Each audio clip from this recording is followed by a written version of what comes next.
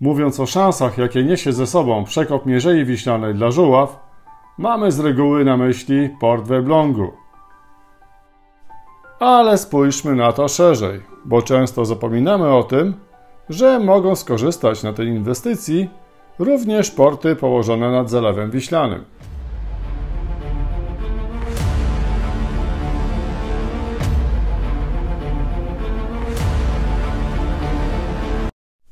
Będąc nie tak dawno nad Zalewem Wiślanym, odwiedziliśmy miejscowość Fromborg. A dziś jesteśmy w oddalonej o 11 km linii prostej na południe malowniczej miejscowości. I właśnie wchodzimy na pobliską wieżę widokową, żeby przyjrzeć się pięknej panoramie miasta. Tolknicko, najdalsze dzieje tej osady owiane są legendą. Lecz bardziej realistycznie można mówić o początkach miejscowości od czasów osadnictwa Prusów na tutejszych obszarach nadzalewowych.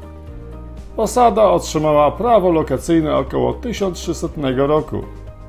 A co chyba było najważniejsze dla ówczesnych mieszkańców, w 1359 roku Tolknicko otrzymało prawo rybołówstwa. Ta ciekawa miejscowość jest zbyt często pomijana w drodze do Fromborka, a to wielki błąd, bo takie miejsca mają swój niepowtarzalny klimat i historię.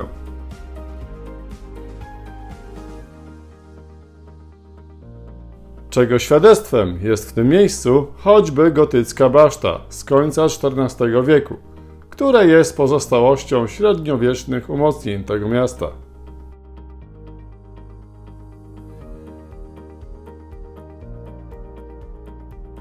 Warto również zajrzeć tutaj w Torknicku do gotyckiej świątyni, która została wzniesiona tu na miejscu drewnianej, również w drugiej połowie XIV wieku a poświęcona została w 1376 roku. Powiem Państwu szczerze, że dla mnie osobiście takie małe lokalne kościoły mają swój niepowtarzalny klimat. I może nie każdy z uczestników mszy zdaje sobie sprawę z tego, że te mury łączą ponadczasowo. Łączą wszystkie pokolenia, które tu uczęszczały, niezależnie od narodowości. Odwiedźmy jeszcze jeden budynek, bo naprawdę warto. Jadąc z Elbląga w stronę portu, nie sposób pominąć wzrokiem pięknie wyremontowanego dworca kolejowego. Ostatni pociąg pasażerski stanął tutaj 7 lipca 2017 roku.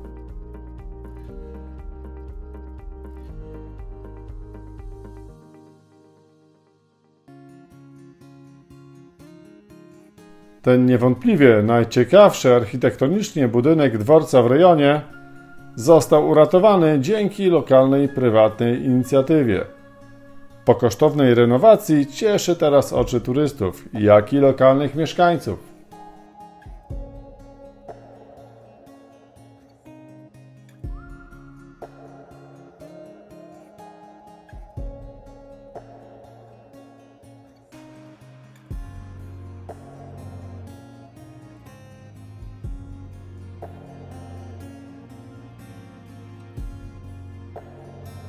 Ale chyba pora przejść do głównego punktu tego reportażu.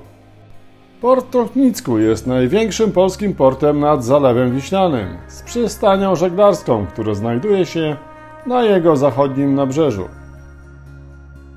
W dawnych czasach na obrzeżach portu funkcjonowały również zakłady szkutnicze, produkujące łodzie rybackie.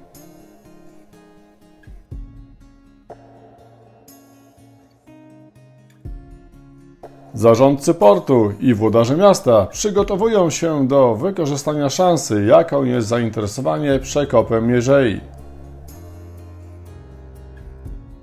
Dzięki uprzejmości pani burmistrz Tolknicka Magdaleny Dalman możemy poznać plany gminy związane z rozwojem infrastruktury portowej i turystycznej.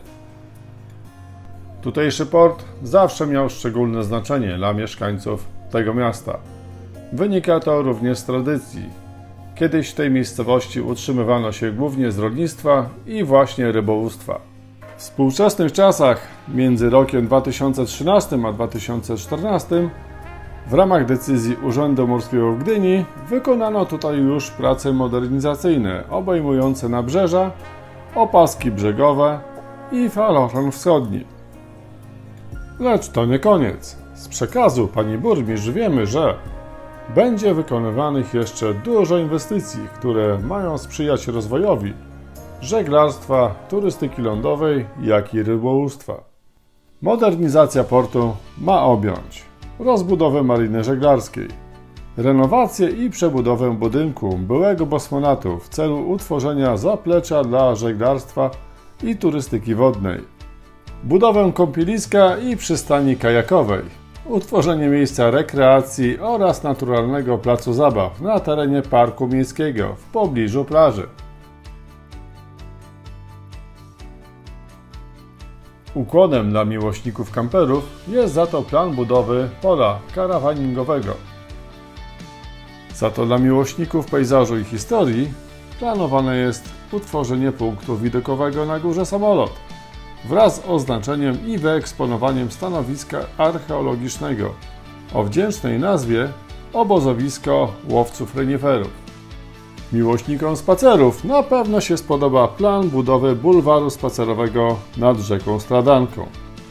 W planach gminy jest również rewitalizacja dawnego kanału młyńskiego w Tolknicku, utworzenie ścieżki edukacyjnej Kanał Kopernika oraz zagospodarowanie terenu na cele rekreacyjne. Więc jak widać zarządcy portu i gmina stawiają grubo na rozwój turystyki chcąc wykorzystać wszystkie swoje możliwości i zasoby. Oczywiście chwała im za to i będę trzymał twardo za nich kciuki, aby się te plany zmaterializowały. Na pewno warto tu przyjechać, nawet zimą to miejsce ma swój urok. I ja tu również mam jeszcze zamiar zawitać, chociażby po to, żeby sprawdzić z kamerą, jak się realizują wyżej wymienione plany. Projekty gminy Tąknicko obejmują swoim zasięgiem również obszary przyległych jej miejscowości, jak Suchacz, Kamionek Wielki czy Kadyny. Lecz o tym opowiem już Państwu w kolejnym materiale z cyklu Co za przekopem Mierzei Wiślanej. Będziemy śledzić losy wszystkich portów na Zalewie Wiślanym, odnosząc się do przekopu Mierzei, do jej wszystkich trzech etapów. Powoli się będziemy żegnać z urokliwym Tortnickiem, lecz zanim to uczynię i podziękuję Państwu za dzisiejszą obecność, pozwolę sobie na małe ogłoszenie dotyczące mojego kanału. Otóż w trakcie rozwoju i zdobywania doświadczenia w prowadzeniu kanału narasta we mnie poczucie niedosytu. Niedosytu dotyczącego spraw technicznych. Chciałbym dla widzów i dla siebie tworzyć treści z lepszym jakościowo dźwiękiem i obrazem lecz za tym idzie inwestycja w lepszy sprzęt. A to przy moich możliwościach etatowca niestety będzie trwało bardzo długo. Dlatego też za radą mojego przyjaciela założyłem na platformie Patronite swoje konto i zapraszam wszystkich chętnych widzów do wspierania mojego kanału i przyspieszenie dzięki temu jego rozwoju. Sponsor kanału będzie mógł oczywiście liczyć na dodatkowe bonusy jak na przykład niepublikowane dotąd materiały czy inne informacje. Myślę, że w trakcie rozwoju konta Patronite będziemy jeszcze razem mogli opracować różne formy wdzięczności. Dziękuję wszystkim za dotychczasowe wsparcie wiedzą i konstruktywną krytyką. Link do Patronite znajduje się w opisie pod filmem. Pozdrawiam serdecznie i do zobaczenia w następnym materiale.